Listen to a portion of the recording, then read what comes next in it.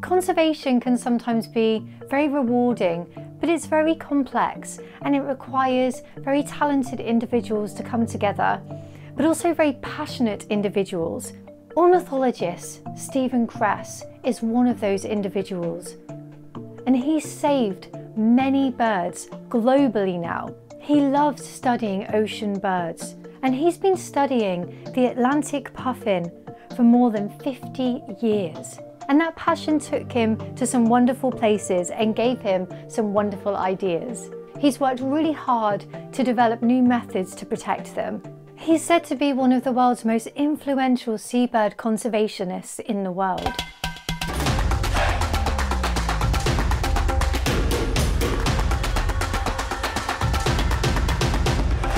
Atlantic puffins were exploited for their eggs, meat and feathers, so colonies were destroyed by late 1800s. Because Kress was so passionate about seabirds, he became interested in the Atlantic puffin, so it wasn't long before he gave birth to Project Puffin.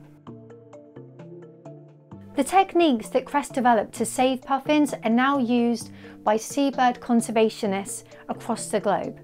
Kress had a theory that if he and the team could transport puffin chicks to a particular area and rear them, the chicks would develop a mental map of the island, the location, so therefore when they go out to sea, they'll return to the island. They'll return to their nest. So the pufflings were transported to the desired location and the team hand-reared them in artificial burrows. This went on for four years. Unfortunately, the project didn't have much success and the puffins didn't return. So Kress had to change things and he had to consider why they weren't returning, what the problem was. So he decided to think like a puffin. Kress still had a theory that the young puffins did know how to get back to the island, so they did still have that mental map, but they weren't confident enough to return. They still didn't feel safe enough. Puffins live in colonies, and this is largely for protection from predators. So to help them feel safe, he started to place puffin decoys dotted around the island. In 1977, just days after the decoys were put in place, a puffin returned to the island. And then after some time, they started breeding. The success continued, and now currently on Eastern Egg Rock, there's nearly 200 breeding pairs of puffins. This method that Kress developed is now named social attraction and it's used globally with massive success. Obviously it's been further developed.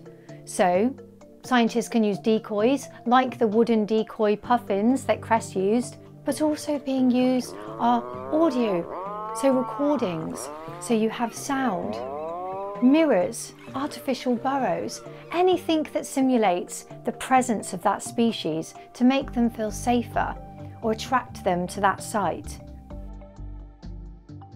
Project Puffin have stated that at least 42 seabird species in 14 different countries have benefited from these techniques. Project Puffin is evidence of just how much of an impact we human beings can have on wildlife and nature in general. When used correctly and compassionately, our intelligence and creativity can have a massive impact. Look at what Kress and Project Puffin have managed to achieve. Think about the impact that this project alone has had on wildlife and nature. Think about the ripple effect. There's still so much more that we need to do for seabirds, like the Atlantic puffin, the Atlantic puffin is a very sensitive species, very sensitive to temperature change. So with climate change and the rise in temperatures, it means there's going to be less fish available amongst lots of other issues that it presents. So there's still lots of work that needs to be done for them. There's plenty of things that you can do to help conservation efforts. If you have a look in the description, you'll see lots of links to websites, organisations that are doing a lot of work to help puffins, including Project Puffin. Kress is still hopeful for the future for Atlantic puffins, but he's warned not to be complacent and to please help conservation efforts where you can. If you've enjoyed the episode today and you want to learn more about the Atlantic puffin, please do check out my other video about the Atlantic puffin, going into ecology, going into behaviour and looking at the threats that they face and going into a bit more detail on what you can do for them.